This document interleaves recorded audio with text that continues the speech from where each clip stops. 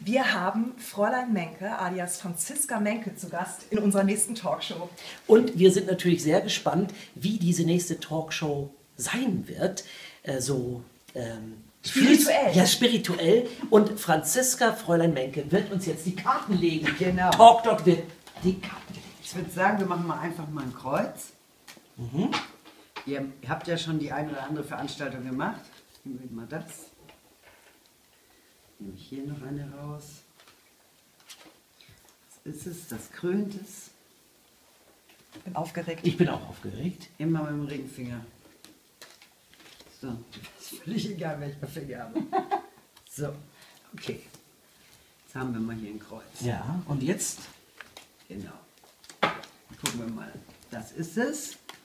Ah, das ist die Kaiserin. Guck mal, das ist doch zum Beispiel schon mal ganz was Schönes mit, ne, mit dem Lotus und so weiter und so fort. Das ist sogar ein Trumpf. Also es kann nur was Schönes, Feingeistiges werden.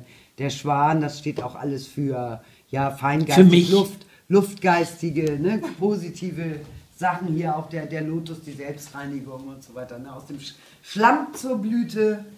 So, so kennt man euch. Das krönt es. Oh, Ritter der Stäbe. Also das ist was ganz Hui. ein was Feuriges, nach oben stre strebendes, ne? großartiges auch. Das krönt es sozusagen.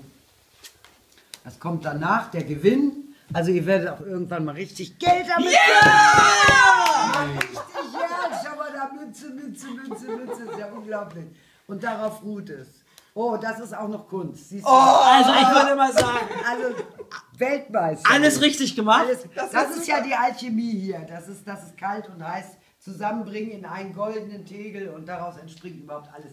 Also besser geht's gar nicht. Fräulein Menke sagt, alles wird top und ist bei uns beim Talk Dot. Und wir freuen uns. Kann nur gut gehen. Ja.